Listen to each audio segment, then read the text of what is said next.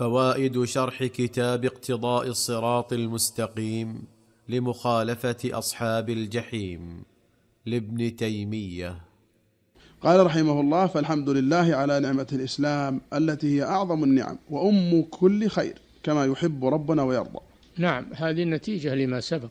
إذا كان الإسلام هو دين الكمال ودين العلو الصحيح لا العلو العلو المتغطرس وإنما هو العلو الصحيح الذي قال الله جل وعلا فيه وأنتم الأعلون إن كنتم مؤمنين علوا صحيحا. فهذا آه، يجب على المسلم أن يحمد الله على هذا الدين الذي كفل له الكمال.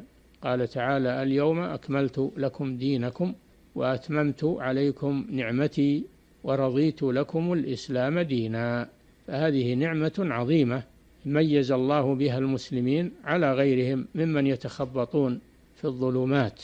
أو من كان ميتا فأحييناه وجعلنا له نورا يمشي به في الناس كمن مثله في الظلمات ليس بخارج منها.